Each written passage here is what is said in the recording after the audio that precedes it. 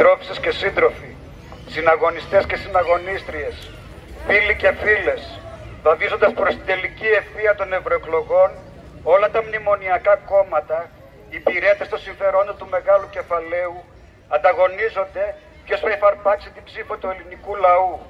Την ίδια ώρα που η παγκόσμια οικονομική κρίση οξύνεται και βαθαίνει, φέρνοντας όλο και πιο κοντά τη φανάσιμη απειλή ενός τρίτου παγκοσμίου πολέμου, η Ευρωπαϊκή Ένωση και η Ευρωζώνη υποβαθμίζονται συνεχώς στον παγκόσμιο ανταγωνισμό, ενώ ο αδύναμος ελληνικός καπιταλισμός οδεύει προς μια νέα οδυνηρή χρεοκοπία. Τα μνημόνια, με τα δεκάδες αντεργατικά μέτρα που πήραν όλες οι κυβερνήσεις, αντί να μειώσουν τα χρέη, όπως ευαγγελίζονταν, τα αύξαν κατακόρυφα. Δεν υπάρχει ούτε ανάπτυξη, ούτε παραγωγικές επενδύσεις, αλλά ένα νέο κύμα λουκέτων που το βλέπουμε να ξεδιπλώνεται καθημερινά μπροστά μας. Η οικονομία τρέφεται από τις άρκες της, τη μείωση των πραγματικών μισθών, τη λαιλασία του δημόσιου και φυσικού πλούτου, των κοινωνικών υπηρεσιών της υγείας και της παιδείας, την αρπαγή της ατομικής περιουσίας μέσω των πληστηριασμών. Το μόνο που ανθεί είναι η ρεμούλα, ο παρασιτισμός και η κερδοσκοπία, όπως αυτή τη βλέπουμε στα ακίνητα, κάνοντας τη λαϊκή κατοικία απλησία πολυτέλεια. Μια βίαιη εσωτερική υποτίμηση. Η μείωση του βιωτικού επίπεδου χτυπάει σαν σοκ τους εργαζόμενους και τα λαϊκά στρώματα. Εκτοξεύει τις κοινωνικές ανισότητες. Ερημώνεται η ύπεφρος. Ξεκληρίζονται οι φτωχοί αγρότες. Καταστρέφεται η πρωτογενής παραγωγή. Η περιβαλλοντική καταστροφή, συνέπειες της οποίας είδαμε και στη χώρα μας, συμπληρώνεται και μεγαλώνει από τη δίθεν πράσινη μετάβαση της Ευρωπαϊκής Ένωσης. Στην πραγματικότητα άλλο ένα μεγάλο κόλπο για να τα τσεπώνει το μεγάλο κεφάλαιο. Παρόλα αυτά, η Νέα Δημοκρατία και το καθεστώς Μητσοτάκη συνεχίζει να πουλάει παραμύθια περί ανάπτυξης και σταθερότητας, ενώ στην πραγματικότητα είναι μια κυβέρνηση που έχει κηρύξει τον πόλεμο στους εργαζόμενους, στους φτωχούς και στην νεολαία.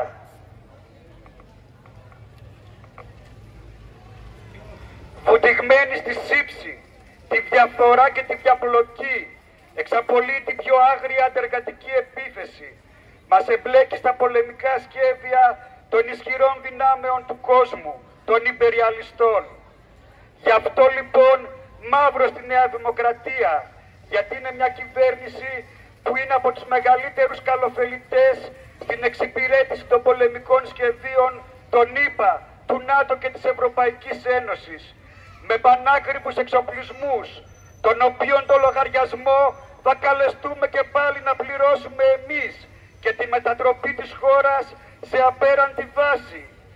Με την όλο και, με την όλο και ενεργότερη εμπλοκή στον πόλεμο, τις φρεγάτες στην Ερυθρά θάλασσα, τη στήριξη του μισοφασιστικού καθεστώτος του Κιέβου.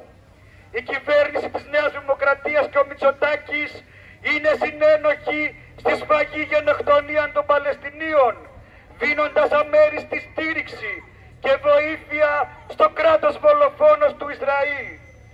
Η ΟΚΒΕ παλεύει και θα παλέψει και την επαύριο των ευρωεκλογών για να χτιστεί ένα ισχυρό μαχητικό αντιπολεμικό κίνημα με όλους τους λαούς που να απαιτεί το τερματισμό των πολεμικών συγκρούσεων που στο εσωτερικό της χώρας μας θα παλέψει για το, σταμάτημα, για το σταμάτημα των εξοπλισμών, για λεφτά, για δημόσια δωρεάν υγεία και παιδεία, για τις πραγματικές ανάγκες των εργαζομένων και των φτωχών λαϊκών στρωμάτων, για ένα μαχητικό αντιπολεμικό κίνημα που θα βάλει μπροστά σαν έτοιμα να φύγουν οι βάσεις, που θα βάλει τέλος στην εμπλοκή της χώρας στον πόλεμο, που μας απειλεί με το φανάσινο κίνδυνο ακόμα και ενός, ε, ακόμα και ενός πυρηνικού ολοκαυτώματος.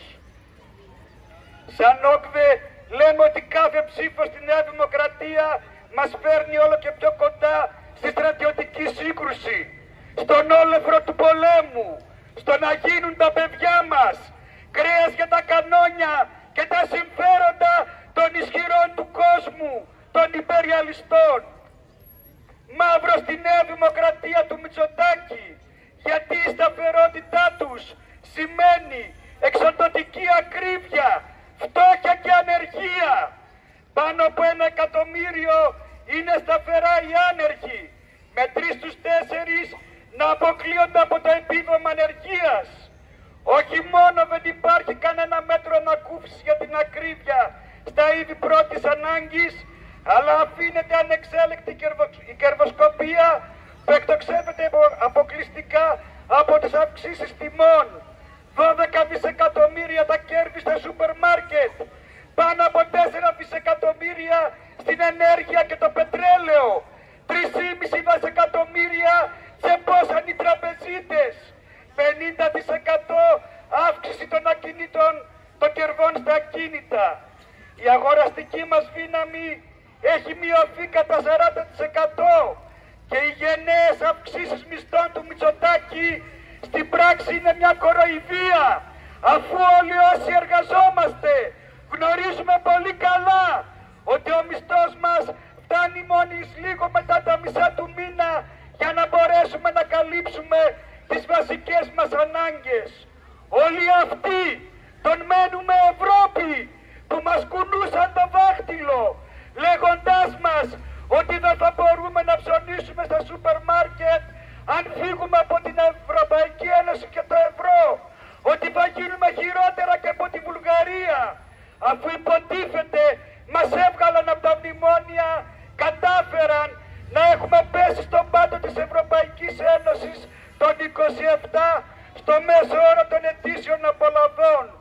Κατάφεραν σταθερά και τολμηρά ένα στα τέσσερα νοικοκυριά να βρίσκονται στο όριο της φτώχειας και ο κίνδυνος φτωχοποίησης να αγγίσει πλέον τη μισή ελληνική κοινωνία. Μαύρο στη νέα δημοκρατία του Μητσοτάκη, γιατί η σταθερότητα που ευαγγελίζεται σημαίνει συνέχιση των βολοφονικών ιδιωτικοποιήσεων. Αυτές οι ιδιωτικοποιήσεις είναι που ευθύνονται για το έγκλημα στα τέμπη με τους 57 νεκρούς, για τους υπέροχους λογαριασμούς και τις διακοπές ρεύματος, για τις πλημμύρες που έπνιξαν τη μισή χώρα και τις πυρκαγιές που κάψανε την άλλη μισή. Γιατί η σταθερότητα που ευαγγελίζεται η Νέα Δημοκρατία σημαίνει τη συνέχιση του ξεπολύματος των πάντων στους κολλητούς της εθνικούς εργολάβους και στους ιδιώτες αρπακτικά. Γιατί σημαίνει τη διάλυση και το τέλος της δημόσιας και δωρεάν υγείας, για τα νόμιμα φακελάκια της πληρωμής των απογευματινών χειρουργείων και την πλήρη εγκατάλειψη όσων δεν έχουν τα χρήματα να πληρώσουν, για τη μετατροπή της παιδείας σε πανάκριβο εμπόρευμα, με την επιβολή πανελληνίων ήδη από το γυμνάσιο, με την εγκαθίδρυση ιδιωτικών πανεπιστημίων και τη γενίκευση των διδάκτρων, που φέρουν μαζικό αποκλεισμό των παιδιών των εργαζομένων και των φτωχών από την εκπαίδευση. Γιατί η σταθερότητα της Νέας Δημοκρατίας σημαίνει ότι σειρά έχουν και άλλες ιδιωτικοποιήσεις που θα δοθούν κοψοχρονιάς σε εταιρείες του στενού οικογενειακού και φιλικού κύκλου της κυβέρνησης. Φίλοι και φίλες, πρόκειται για μια ιστορική κλοπή, σκάνδαλο σε βάρος των εργαζομένων και των φτωχών που έχει εκτοξεύσει τις ανισότητες, τη φτώχεια, την εξαπλίωση και μας πετά καθημερινά στο περιθώριο. Μαύρο στη νέα δημοκρατία του Μητσοτάκη, γιατί η σταθερότητά της σημαίνει εργασιακό μεσαίωνα και ένα νέο σύστημα εκμετάλλευσης. Η ελαστική, απλήρωτη και μαύρη εργασία εξαπλώνονται διαρκώς. Ιστορικά δικαιώματά μας που κερδίθηκαν με φυσίες και αίμα, όπως το οκτάωρο, το πενθήμερο, οι συλλογικές συμβάσεις, το δικαίωμα στην απεργία, γίνονται παρελθόν με τους αντεργατικούς νόμους του Χατζηβάκη και του Γεωργιάδη. Νέες σχέσεις εργασίας, μισοπουλικές, όπως οι freelancer, οι λευκές συμβάσεις, η δουλειά με το κομμάτι, επεκτείνονται επικίνδυνα για να εξαφανίσουν δικαιώματα, να εντείνουν την ατομικοποίηση, να τσακίσουν την οργάνωση εργαζομένους αδιαφορούν για κάθε μέτρο προστασίας σε βαθμό που να έχουν τετραπλασιαστεί οι εργατικές δολοφονίες ατυχήματα την περίοδο διακυβέρνησης της Νέας Δημοκρατίας. Από 46 εργατικές δολοφονίες το 2018 φτάσαμε το 2023 στις 180. Στοχεύουν να ελέγξουν ασφικτικά τις εργατικές οργανώσεις και να ποινικοποιήσουν τη δράση τους. Δεν υπάρχει απεργία που η ανεξάρτητη δικαιοσύνη των πλουσίων να μην τη βγάζει παράνομη και καταχρηστική.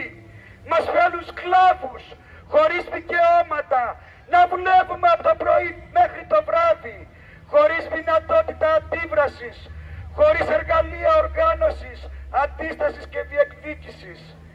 Για να παραμείνουν στην εξουσία, οικοδομούν ένα μαύρο κράτος έκτακτης ανάγκης των ΜΑΤ και των δικαστηρίων, μια βιομηχανία διώξεων των εργατικών αγώνων, μια όαση ατιμορρησίας και ασυμβοσίας της οικονομικής ελίτ των υπηρετών της, των κρατικών μηχανισμών και εξωματούχων, όλο και πιο ανοιχτά αυτή η συμμορία του Μητσοτάκη ταυτίζεται με το έγκλημα, τη διαφορά, κάθε ανηθικότητα και βρωμιά, αμέτρητες υποθέσεις ναρκωτικών, παιδεραστίας, μαστροπίας, λαβρεπορίου και μαφίας.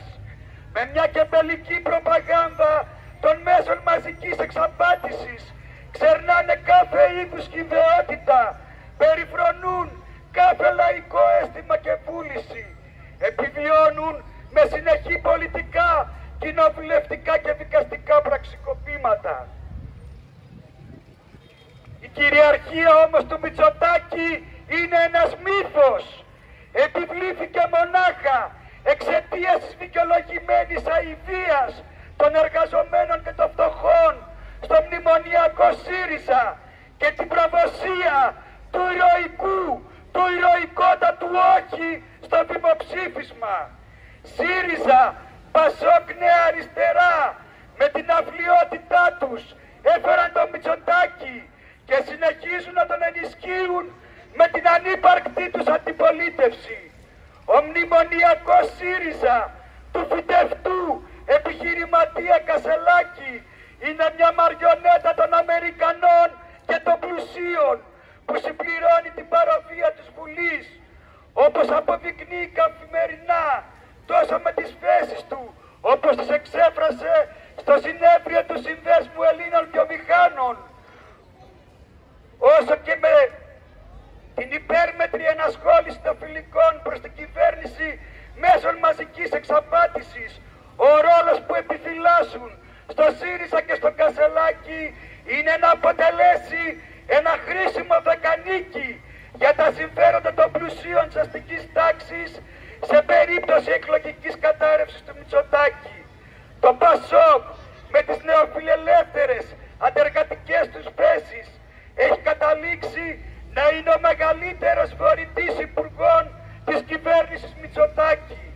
Η νέα αριστερά που ούτε νέα ούτε αριστερά είναι υπερασπίζεται παπιασμένα τα μνημόνια που εφάρμοσε στις κυβερνήσεις Τσίπρα, τους αντεργατικούς νόμους της Αξιόγλου, το ασφαλιστικό έκτρωμα του Κατρούγκαλου.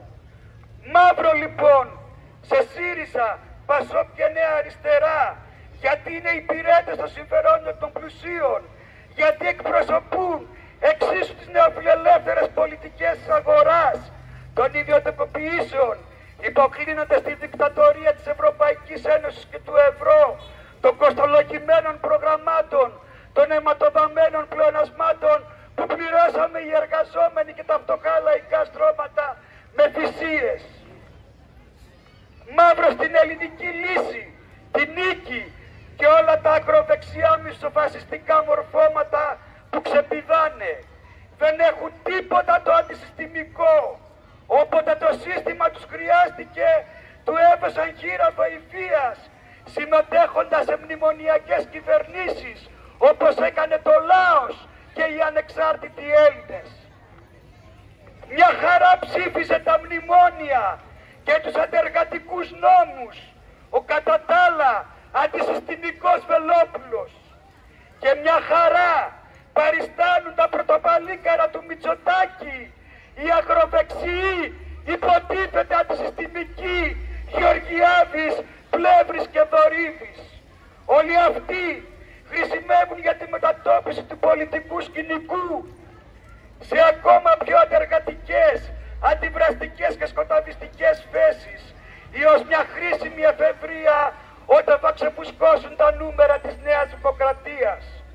Η ΟΚΔΕ παλεύει για τη συντριβή όλων των ακροδεξιών γιατί όπως έχουν αποδείξει διαχρονικά στην ιστορία είναι οι πιο πιστοί υπηρέτες του συστήματος των πλουσίων είναι τα πιο πιστά σκυλιά τους για να βιασπούν, να βιαιρούν και να χτυπούν το εργατικό κίνημα και τους αγώνες των εργαζομένων. Καμιά ψήφο όμως και στα διέξοδα του Κουκουέ και του Μέρα 25. Το Κουκουέ παρά τις βήθεν αγωνιστικές κορώνες έχει ενσωματωθεί σε αυτό το μνημονιακό σκηνικό. Μετατοπίζεται σε όλο και πιο συντηρητικές και υποτίθεται υπεύθυνες θέσεις. Μένει σε μια αφηρημένη κριτική των επιθέσεων με γενικόλογα και άσφαιρα αντίματα. Διασπά και σαμποτάρει τους αγώνες μας ή τους αφήνει στη μέση, απομονωμένους μεταξύ τους, όπως έκανε στους αγρότες και τους φοιτητές και τους αποπροσανατολίζει ώστε να μην αναμετρηθούν κεντρικά με την κυβέρνηση Μητσοτάκη και το καθεστώς του. Αντίθετα, θέλει να εξαργυρώνει τους αγώνες μας αποκλειστικά στην κάλπη σε μια ακίνδυνη ψήφο διαμαρτυρίας τη ρήξη με το ευρώ και την Ευρωπαϊκή Ένωση και την οικοδόμηση μιας Ευρώπης των εργαζομένων της ειρήνης, της δικαιοσύνης και της ισότητας που θα την παρατεθεί σε συντονισμένη επίθεση όλων των νεοφιλελεύθερων κυβερνήσεων την έχει παραπέμψει στη Δευτέρα παρουσία. Άλλωστε σε όλες τις κρίσιμες στιγμές όπως το δημοψήφισμα παρά τα κούφια αγωνιστικά λόγια τάχθηκε υπέρ της παραμονής του ευρώ και την Ευρωπαϊκή Ένωση. Δεν έχει κανένα σχέδιο για την ανάπτυξη κοινών αγώνων με τους λαούς της Ευρώπης. Ακόμα και αν παντού πληττόμαστε από την ακρίβεια, τον πόλεμο, τα εξοπλιστικά προγράμματα, την κοινή αγροτική πολιτική και την ανάβηση σκληρών αντιδημοκρατικών καθεστώτων.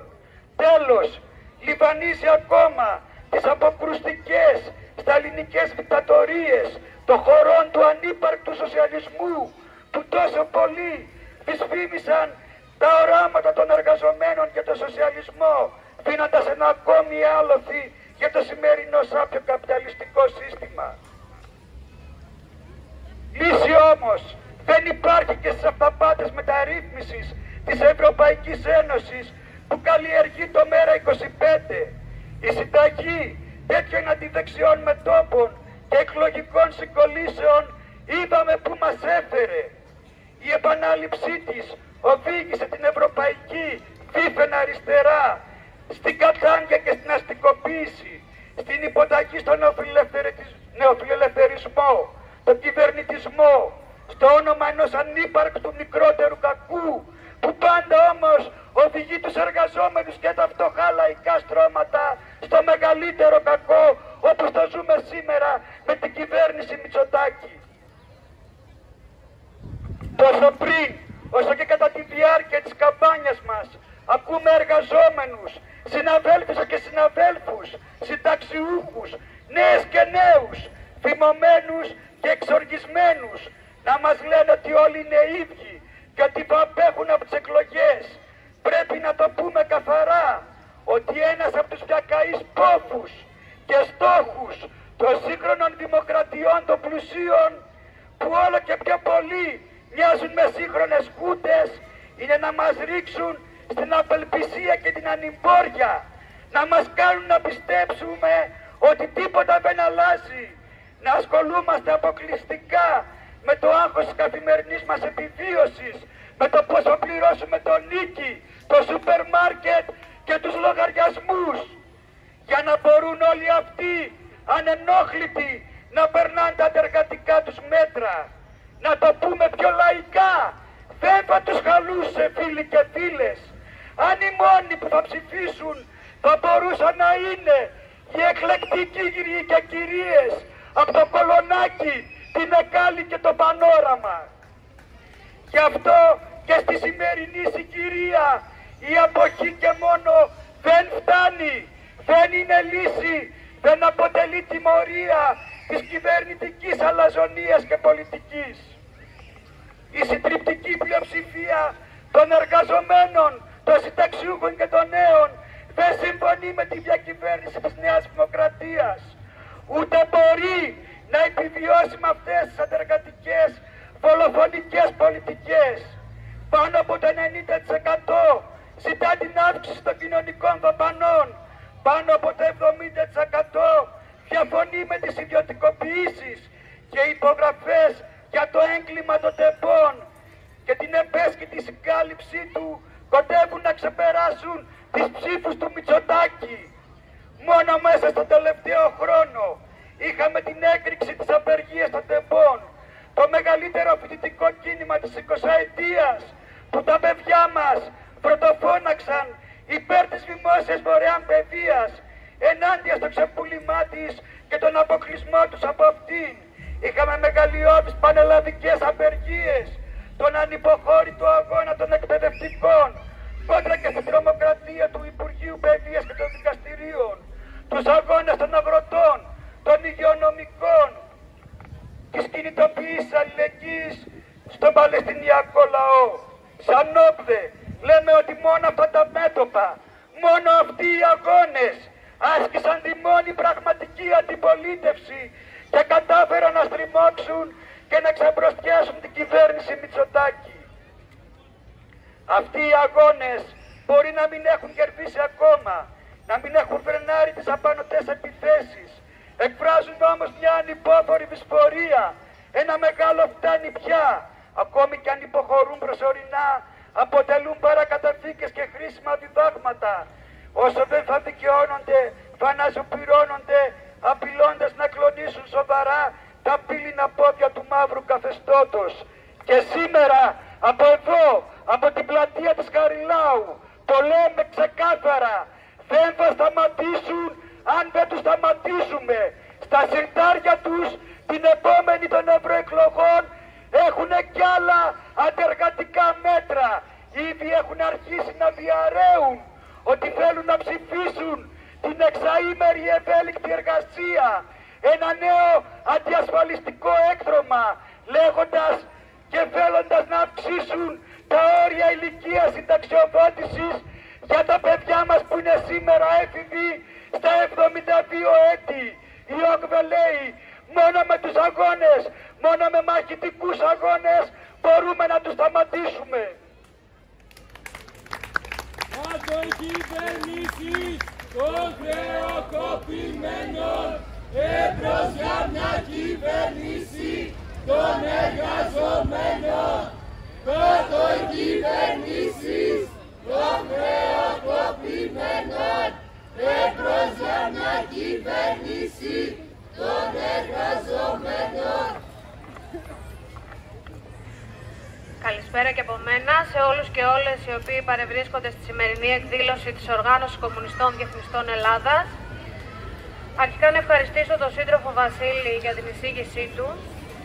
Να ξεκινήσω λέγοντας ότι από τις πιο συχνές ερωτήσεις που συναντάμε όταν συζητάμε με κόσμο σε παρεμβάσεις είναι γιατί ενώ λέτε να βγούμε από την Ευρωπαϊκή Ένωση και την Ευρωζώνη αφού αναγνωρίζετε ότι το Ευρωκοινοβούλιο είναι ένας θεσμός ο οποίος δεν πρόκειται να αλλάξει με μεταρρυθμίσεις, γιατί κατεβαίνετε στις ευρωεκλογές. Η απάντηση δόθηκε και αναλύθηκε το, στο πρώτο κομμάτι από τον σύντροφο του Βασίλη. Η αποχή καταρχήν δεν είναι λύση και δεν θα μπορούσαμε να την προτείνουμε σε κανέναν εργαζόμενο ή φτωχό. Δικαίως υπάρχει απέκτεια προς όλα τα μεγάλα πολιτικά κόμματα Ωστόσο στο διατάφτα το μόνο που μπορεί να καταφέρει η αποχή και σε αυτό καταλήγει είναι μια έστω και πλασματική αύξηση ή συγκράτηση των ποσοστών αυτών εδώ των ίδιων κομμάτων που έχουν προδώσει πολλάκις τον ελληνικό λαό.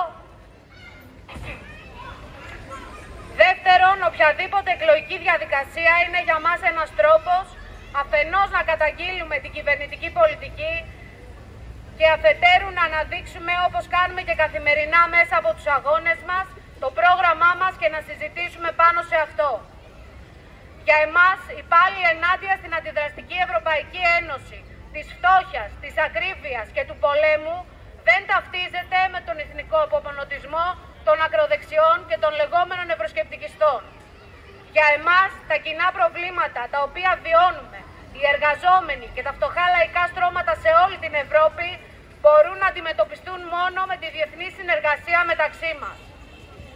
Ειδικά σήμερα που αυτά τα προβλήματα μεγαλώνουν διαρκώς, τη στιγμή που η Ευρωπαϊκή Ένωση και η Ευρωζώνη υποβαθμίζονται διαρκώς μέσα στον παγκόσμιο καπιταλισμό, τη στιγμή που δεν υπάρχει σχεδόν καμία παραγωγική επένδυση, την ίδια στιγμή οι Ευρωπαίοι υπεριαλιστές συντάζονται με τα πολεμικά σχέδια των Ηνωμένων Πολιτειών της Αμερικής και όλων των συμμάχων τους ενάντια στη Ρωσία και την Κίνα, όπως έχουμε δει στο μέτωπο στην Ουκρανία και στη γενοκτονία που συντελείται στην Παλαιστίνη, τα δύο ουσιαστικά πρώτα επεισόδια του Τρίτου Παγκοσμίου Πολέμου.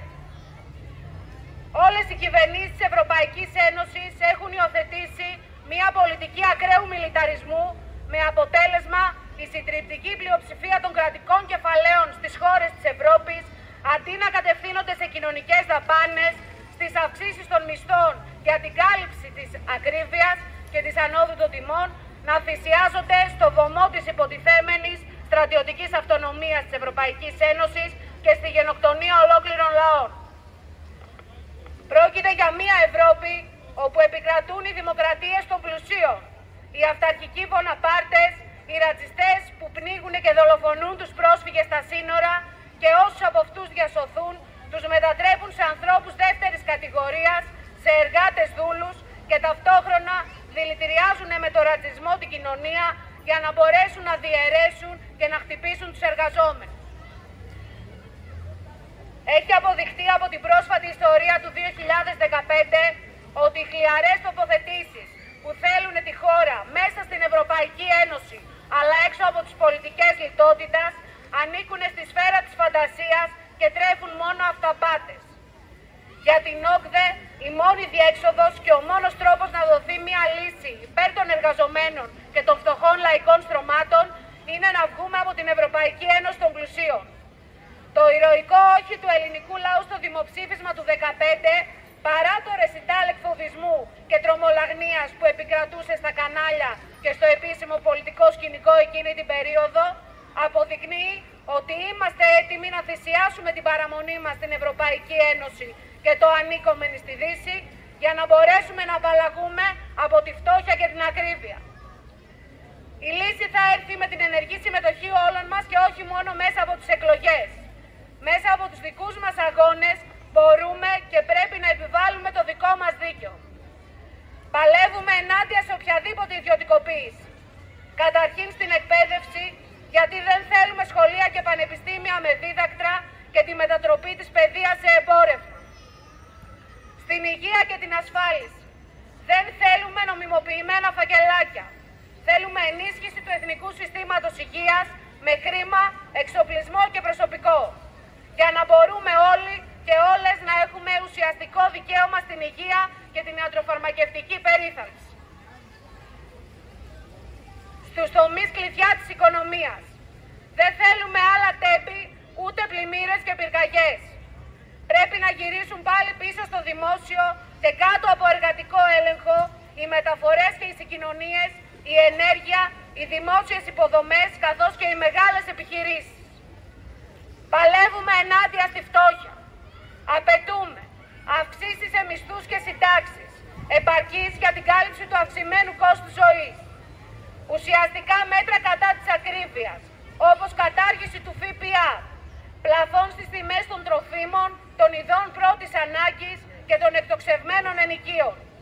Να πληρώσουν τον πληθωρισμό οι πλούσιοι μέσα από τη βαριά φορολόγηση. Για ένα πραγματικό πρόγραμμα δημοσίων επενδύσεων που να περιλαμβάνει επενδύσεις στο πρωτογενή και δευτερογενή τομέα με σεβασμό και βασικό κριτήριο τον σεβασμό στην προστασία του περιβάλλοντος. Μόνο οι παραγωγικές επενδύσεις μπορούν να δώσουν μία λύση στην ανεργία και την εξαθλίωση και την περιθωριοποίηση που βιώνουμε σήμερα.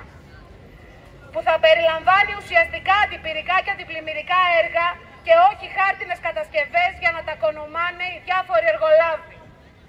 Που θα περιλαμβάνει ουσιαστική λύση στη στεγαστική κρίση με ένα πρόγραμμα κατασκευής εργατικών και λαϊκών κατοικιών.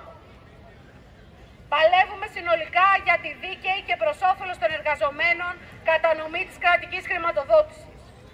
Δεν θέλουμε τα χρήματά μας να καταλήγουν στα ραφάλ, στις φρεγάτες και το πολεμικό εξοπλισμό, ούτε και στην αποπληρωμή ενός χρέους που δεν δημιουργήσαμε ποτέ εμείς, οι εργαζόμενοι, οι νέοι, οι φτωχοί. Δεν τα φάγαμε μαζί, δεν θα τα πληρώσουμε μαζί. Το χρέος πρέπει να διαγραφεί και να έρθουμε σε κάθε τη ρήξη με τα σύμφωνα, όχι σταθερότητας, αλλά στην πραγματικότητα κοινωνικής αστάθειας, τα οποία μας ρίχνουν όλο και βαθύτερα στη φτώχεια. Τα κρατικά κεφάλαια πρέπει να επιστρέφουν σε εμάς μέσα από τα σχολεία, τα πανεπιστήμια και τα νοσοκομεία, τα οποία αυτή τη στιγμή στενάζουν από την υποχρηματοδότηση, κλείνουν και συγχωνεύονται. Πρέπει τα χρήματα να πηγαίνουν στις κοινωνικές ανάγκες, στην κάλυψη των αναγκών των πιο ευάλωτων οικονομικά και κοινωνικά στρωμάτων, αντί να πηγαίνουν σε ενίσχυση πολεμικών μετόπων και στις τσέπες των μεγαλοτραπεζιτών. Παλεύουμε γενικά ενάντια στη συμμετοχή της χώρας στους πολεμικούς σχεδιασμούς του ΝΑΤΟ και της Ευρωπαϊκής Ένωσης. Το μόνο που καταφέρνουν αυτοί οι σχεδιασμοί είναι να μας εντάσσουν όλο και βαθύτερα στην πολεμική λέλαπα, θέτοντάς μας σε όλο και αμεσότερο κίνδυνο. Παλεύουμε ενάντια στην αντιδημοκρατική αναδίπλωση και τα καθεστώτα έκτακτης ανάγκης. Οι πραγματικοί τρομοκράτες είναι οι πλούσιοι και η ελίτ που τους υπηρετούν, οι οποίοι μας αναγκάζουν να επιβιώνουμε και όχι να ζούμε. Τρομοκρατία είναι να μετράς τις πενταροδεκάρες στα μέσα του μήνα. Είναι τα δυσβάσταχτα ενίκια και οι λογαριασμοί, οι εκτοξευμένες τιμές στα ράφια των σούπερ μάρκετ. Πρέπει να απαιτήσουμε διεύρυνση και όχι συρρήκρωση των δημοκρατικών δικαιωμάτων και ελευθεριών μας.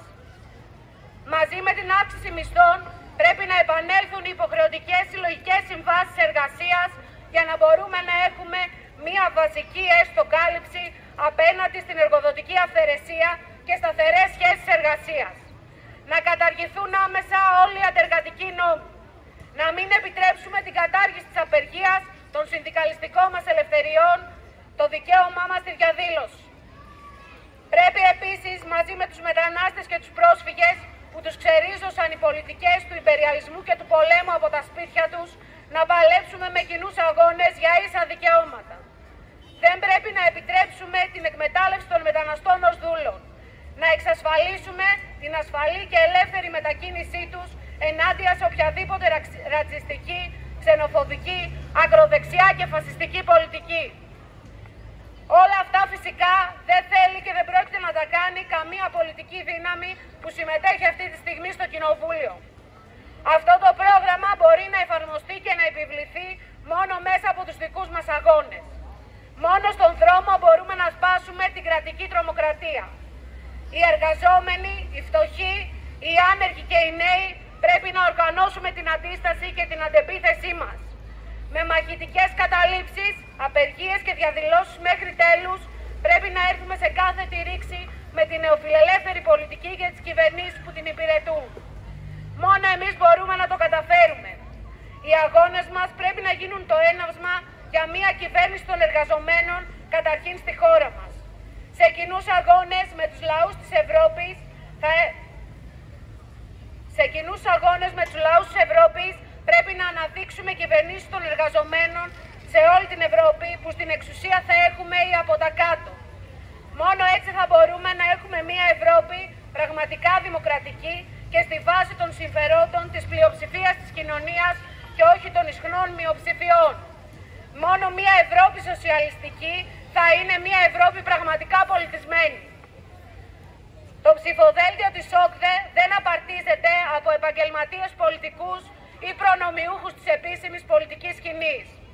Το ψηφοδέλτιό μας συμβολίζει και αναδεικνύει όλους αυτούς τους αγώνες και εκείνο το κομμάτι των εργαζομένων, των νέων και των φτωχών που αποσιωπάται από τα μέσα μαζικής εξαπάτησης, τη συνδικαλιστική γραφειοκρατία και την αστική διαπλοκή. Στο ψηφοδέλτιό μας συμμετέχουν εργαζόμενοι, ενεργοί στο εργατικό κίνημα, συνδικαλιστές και μέλη διοικήσεων σωματείων με σημαντική συμβολή σε απεργίες και σημαντικούς αγώνες, πρόσφατους και μη. Προσπαθούμε καθημερινά να οργανώσουμε τις αντιστάσεις των εργαζομένων σε κάθε χώρο δουλειάς και να δημιουργήσουμε νέα σωματεία, καθώς και να ενισχύσουμε και να ανοικοδομήσουμε τα ήδη υπάρχοντα. Στο ψηφοδέλτιό μας συμμετέχουν φοιτητές που συμμετέχουν στην πρώτη γραμμή των κινητοποιήσεων και αγώνων της νεολαίας, όπως είδαμε στο πρόσφατο μεγάλο φοιτητικό κίνημα ενάντια στα ιδιωτικά πανεπιστήμια. Στο ψηφοδέλτιό μας συμμετέχουν αγωνιστές που δραστηριοποιούνται για την υπεράσπιση των δημοκρατικών ελευθεριών ενάντια στην κρατική καταστολή, τον ρατσισμό και τον φασισμό. Για την αλληλεγγύη στην Παλαιστίνη, την ήττα του σιωνιστικού κράτους δολοφόνου του Ισραήλ. Ενάντια στις βάσεις, των ΝΑΤΟ τους εξοπλισμούς, για την οικοδόμηση ενός μαζικού αντιπολεμικού και αντιπεριαλιστικού κινήματος. Όλοι εμείς θέλουμε να σας ευχαριστήσουμε όλους και όλες που παρευρεθήκατε στη σημερινή μας εκδήλωση και να σας καλέσουμε να μας στηρίξετε με την ψήφο σας στις ευρωεκλογές της 9ης Ιούνη καθώς και σε όλους τους αγώνες που έρχονται. Ευχαριστούμε. Όχι κόκκινη Ευρώπη των εργατών. Όχι στην ΕΕ των καπιταλιστών. Κόκκινη Ευρώπη των εργατών.